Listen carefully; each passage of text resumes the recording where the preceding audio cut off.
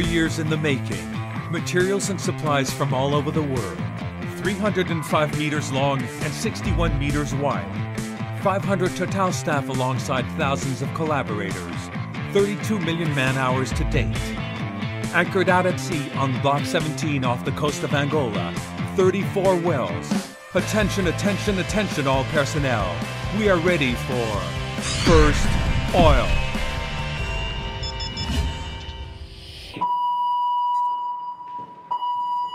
This is a drill, this is a drill, this is a drill.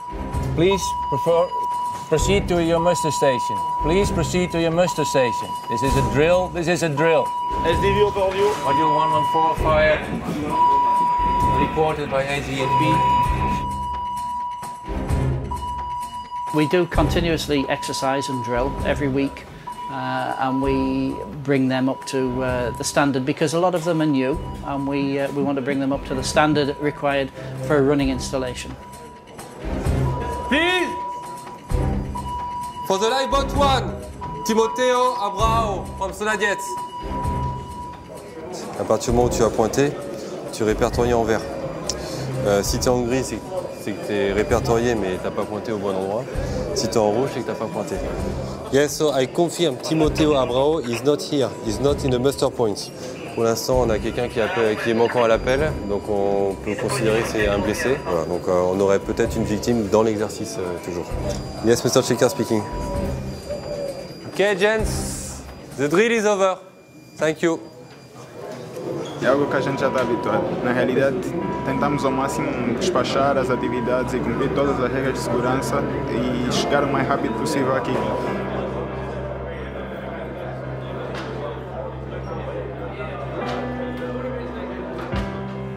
Although the commissioning phase for the FPSO CLOV is not yet over, systems are ready for production to be launched. This is a complex procedure, a far cry from just plug and play. For the men and women on board, it will take a full three days. Before you uh, start up an installation, you always perform a, a full check on your uh, emergency shutdown system because you want to prove that the integrity of the emergency shutdown system is, uh, is intact. Three, two, one. Yes, it's working. The ESD Zero uh, was called in the old days a blackout. It means that everything is shut off, you have no power supply, you have no backup of batteries, every breaker of every battery is open, so you have, in our case, no ignition source. Yes. ESD zero. They open manually, that's why you don't have feedback. Okay, so we are going to restart the plant. Okay, so everybody put his radio to simplex one. Okay. Channel 1. Channel 1? Channel 1. Channel 1. Okay, so let's go. Everybody knows what they have to do. Just don't forget, after each step, try to give as much as information you can. Okay, so let's go. Nous, c'est le redémarrage de l'installation. C'est-à-dire, c'est euh, venir avec le défibrillateur et puis essayer de réanimer euh, le FPSO pour que, euh, eh bien, il, commence à, à, il recommence à battre et que petit à petit, euh, tous ses membres et ses organes se remettent à, se remettent à vivre. En fait. Yes, uh, all UPS uh, are override in emergency room, and now uh, we start emergency diesel. Pour pouvoir redémarrer l'installation, il faut euh, absolument qu'on réalimente en, énergie donc le topside. On va démarrer le, groupe de secours. Le groupe de secours va nous permettre d'alimenter en, en basse tension les autres équipements, dont les essentiels générateurs. Et après, ça déroule en fait. Cooling et start engine. Allez, vas-y. Everybody is learning from a shutdown. It's, it's an, uh, an occasion where uh, the situation is different than during normal operation. And that's a good lesson for, for, for the whole team.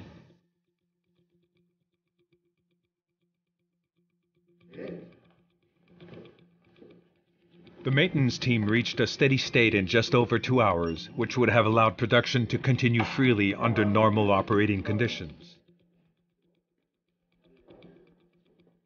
The ultimate safety procedure is in place. The next phase will change just one element on board, but it is a major one. Ça prend des mois à préparer euh, parce que le bébé soit opérationnel, mais le vrai moment, on va dire, c'est quand on se décide, euh, on a le feu vert pour euh, lancer les opérations et importer du gaz. The first time gas is introduced on board, it will be via the gas export line. CLOV has the ability to import and export gas along the same line, depending on the needs of the installation. This ability will allow for venting the nitrogen that is currently protecting the line, the gas lift procedure, which will help the oil in its trajectory from the seabed to the FPSO, and fueling the gas turbines on board. We have to vent uh, the, uh, the gas export line. The first part is uh, nitrogen. We have to vent it first, and then when we have the gas, then we can ignite the, the flare, probably tomorrow morning. It is the middle of the night when the procedure is started, but there's a problem with one of the first valves in the process. Because certain information was missing, the control system has blocked the valve closed in order to protect its integrity. You can try to inhibit the PSL, I don't know if it will be enough. That's what we try, but Alex will come when you come, uh, we'll see what Alex. On m'a sorti du lit pour euh, forcer des vannes de sécurité en ouverture. En cas de vraiment besoin, on peut tout, euh, si le- on me donne l'ordre, je peux tout, tout bypasser pour justement euh, ouvrir la vanne, quoi. Être, euh, avoir la main absolue dessus. Quoi. Mais là, en mode gaz, euh, vas-y, ça passait en, en non gaz export, donc par défaut en gaz import, on va dire. Disons que la, différence entre Alex et nous, c'est Alex, c'est vraiment le monsieur système. Donc, il faut le rassurer, mais c'est vrai qu'il n'a pas la, vision euh, process comme nous on l'a.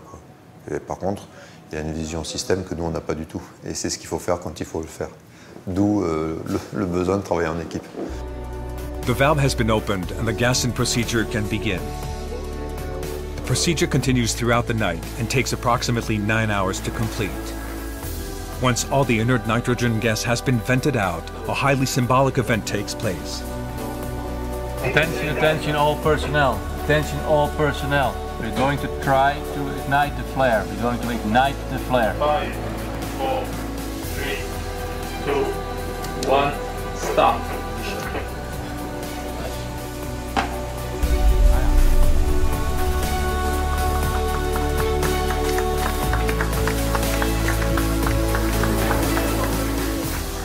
The moment the flare lit up, uh, okay, it's uh, the first step towards first oil. It's the first visible event that you have hydrocarbon in the plant. You see uh, the pellet going up and whoop, flare ignites. So the effect is uh, on, well, on the people. Uh, it's uh, yes, now we are there. Flaring is a safety measure. If need be, all hydrocarbons in the lines can be directed towards the flare and burnt off. Dans le futur, c'est que notre torche sera en permanence fermée, donc on n'aura plus de, de flammes, on n'aura plus des vents à l'atmosphère, c'est euh, 100% envoyé à terre pour que le, le gaz soit liquéfié.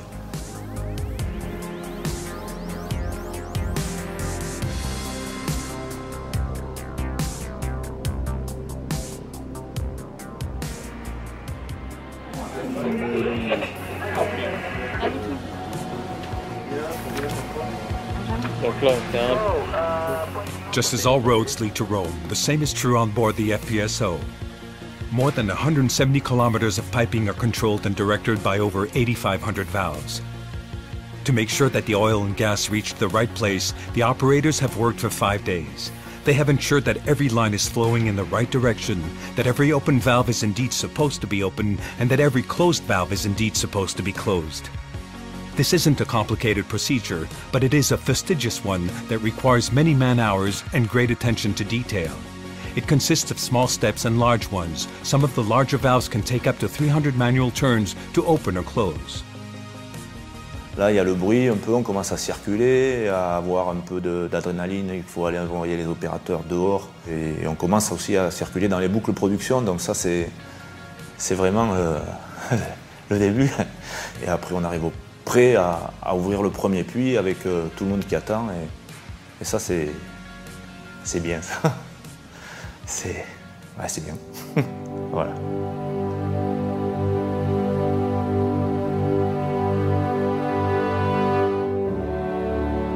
Okay, so then first I would like to thank everybody for his contribution uh, to what we achieved so far. And I'm ready for startup. So great, great job done by uh, everybody. Thank you. Well, this morning is uh, the day where we have been working for uh, all time, the whole project. We're going to start the wells in uh, hopefully in 15 minutes. Last night uh, we did the last preparations, the last tests, and now we are uh, ready to open the well. So it's uh, D-Day for uh, CLOV.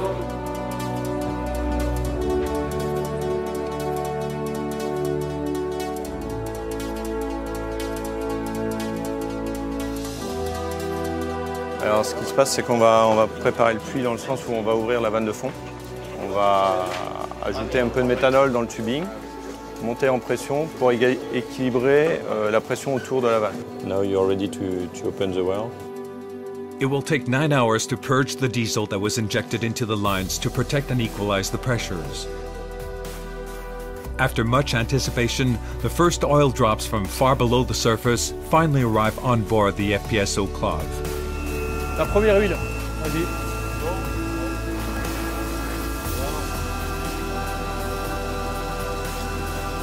Voilà, de l'huile. C'est un moment de concrétisation, quoi.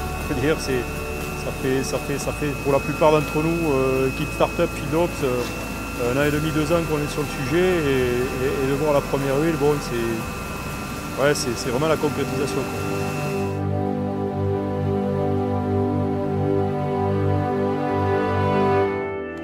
It is a great moment for CLOV, and the management team has come on board for the occasion. Geneviève. As normally, when we call your name, when we mention your name, it's, it's together with CLOV. CLOV and you, it's one word. I'm very, very uh, touched and uh, thank you very much. Kamsahamnida and uh, muito obrigada. Everybody is working towards the first oil. Not only the team on board, but also the, the whole project team behind it that has been working on, on the design and the construction of the FPSO for, for many years. Everybody is working towards the first oil. That's why we have the project, that's why we have CLOV. We are here to produce oil. For the first oil, it's also the pride that people have to, to be part of, of, of a team that starts up a giant project as, uh, as, as CLOV. And that, uh, well, working in, in, in, in our business, yeah, that, that gives you a thrill, that uh, it's a kick.